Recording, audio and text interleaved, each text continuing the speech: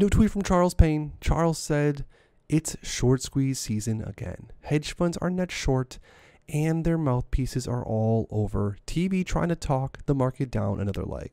But they are being squeezed big time. Heavy shorted names champing at the bit pre market trading. So, right here, this chart says Russell 3000 average member performance for June 16, 2022 to June 24th, 2022, based on short interest ratio.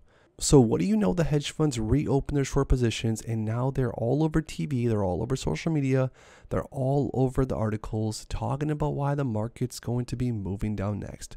Which, what does that do? That causes fear. It causes fear, uncertainty, and doubt, which is FUD. But wouldn't it be a shame if everyone started to buy these highly shorted names just as the hedge funds reload their shorts? Getting rich is great, but sharing memories with your family is so much better, usually. The reason I invest in AMC stock is so that future generations won't have to wonder what was so special about Blockbuster.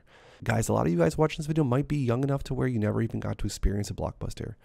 But I'll be honest, it was a great experience. Going in there with your family, your friends, picking out a movie together, and, and rushing back home to watch the movie with some snacks. It was an amazing, amazing time. And right now we have this. We have AMC Theaters, which is also just as an amazing time, in my opinion. And we do not want this to be something of the past, which is why we invest in the stock, we hold the company up, and keep supporting the company and one another. But if you want to stay up to date with everything else that's going on with AMC, because trust me, guys, there's a lot more to go through, make sure to please subscribe to my channel with notifications turned on so you never miss out on an up and coming video.